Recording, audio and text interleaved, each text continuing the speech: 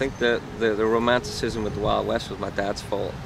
You know, we grew up grew up watching Western movies and Laurel and Hardy's and stuff. So even that, have you seen Way Out West?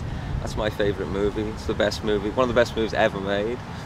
Especially the bar scene where they're dancing, that bit. So I've always been, you know what I mean? I always loved the idea of like the American West. But growing up in Liverpool, my exposure to it was, was through my father. And then when I moved out there and I started hunting out in Colorado and Arizona off horse and muleback and stuff, and I got to see just how beautiful the country is. And a lot of it, a lot of it you can't see from those major highways. Even if you see like Monument Valley off the road, you're like, oh, it's beautiful. You get into some of the backcountry, there's, there's much more beautiful stuff than that, and there's nobody around. There's a canyon just outside of Sedona. It's 2,000 foot deep. It's called Sycamore Canyon. It's only accessible by one road in the summer because in the winter it's too deep in snow because of the elevation. And there's only one road to the edge of it, and it's more beautiful than the Grand Canyon. And no one even knows, no one even has ever even heard about it. So little things like that kind of just keep me interested in it. It's there's a lot to see, you know, and you know, I'm always that guy that wants to know what's around the next corner, whether I'm in a city or whether I'm out in the hills. I want to know what's what's over there, so that, so that if I ever end up there, I'll have a point of reference and be able to get dig myself out.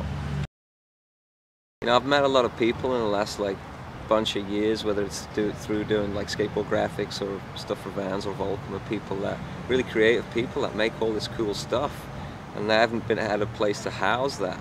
And so I'm doing it now you know so we're making coffee and axes and and knives and none of it is just logo done out. I'm trying to give it a little bit more meaning a little more creativity to the process of putting product out there. But that's kind of really why it's set up as a creative outlet to house product that I've always wanted to make.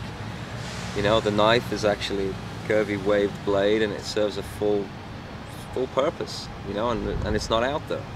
But it, the point of it is a dagger point, and the top side of the blade is a fake blade, and the bottom side of it is normal edge blade, but with a slightly longer edge, which makes it easier to sharpen yourself, and also makes for an even strong, an even sharper point.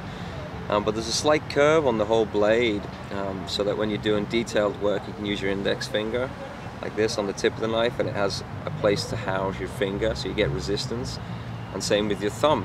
When you're doing heavy, hard work, you always need somewhere to rest your thumb to push to get torque, you know, get some strength behind it. So both of those ridges serve a purpose. The bottom side of the blade serves the same kind of purpose where the front goes in because it has a dagger point, so it goes into something. As you pull out, it immediately cuts, and it doesn't cut a straight line.